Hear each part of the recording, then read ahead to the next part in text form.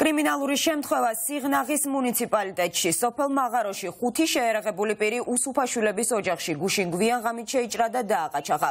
წაღებულია ფული და ძვირფასეულობა. თავდამსხმელების ვინაობა ამ დრომდე უცნობია. თემაზე ჩვენი ჟურნალისტი ია გულიაშვილი მუშაობს და ახლა პირდაპირ ეთერში გვერდდება იარას ყვება დაზარალებული ოჯახი და როგორ მიმდინარეობს საგამოძიებო პროცესი. ნათია ყაჩაღობის ფაქტი სოფელ მაღაროში გვიან ღამით მოხდა. ნაცემი და დაშავებულია მამაშვილი ზაურ და დავით უსუფაშვილები.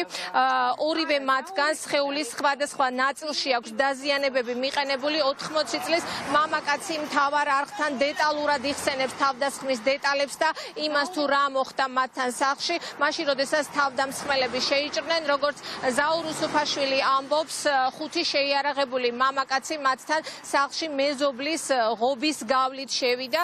ისინი ოჯახის წევრებისაგან იარაღს ოქროუსა და ფულს ითხოვდნენ უარის მიღების შემდეგ კი ორივე მამაკაც ფიზიკურად გაუსწორდნენ ამის შემდეგ უკვე თავდამსხმელებმა მოახერხეს და სახლიდან გაიტაცეს 50000 დოლარი და ოჯახის კუჩნილი ძვირფასეულობა. ფაქტთან დაკავშირებით ინფორმაცია აქვთ მეზობლებს როგორც ისინი ამბობენ უსუფაშვილებს წლების განმავლობაში ხანობაში აქვთ ზესუმზირას ბიზნესი და სწორედ ამასთან დაკავშირებით ბანკიდან სესხი ჰქონდათ გამოტანილი. მეზობლები ახლა ამბობენ რომ სოფელში უსაფრთხოდ აღარ არის ცხოვრება შესაძლებელი ვინაიდან ეს არ არის კრიმინალური შემთხვევის პირველი ფაქტი და როგორც ადგილობრივები ამბობენ მასობრივად გახშირდა სოფელ მაღაროში დაკეტილი სახლების გატეხვის შემთხვევებიც.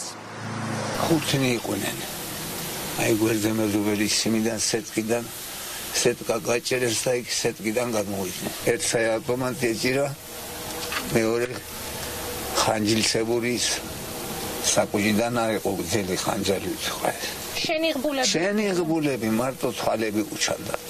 რა ყაჩაღეს რა საერთი ფული ოქრო ასე ქონდა ეხლა ჩემი შვილი და დალი გურჯანაში არის ექიმთან არის და ყოველ ცხრიდან იმისთვის ეს ხრივი ვერ შეუწყოდენია ბიჭდა და დათოსაც და იმასაც მაგრად ნაცემები ყოფილიანო. ფული წაართვეს და ოქრო კი ქონიათ რამეო რა ვიცი. კრიმინალური შემთხვევიდან რამდენიმე წუთში ხუთმა შეიარაღებულმა თავდამსხმელმა ტერიტორიის დატოვება მოახერხა.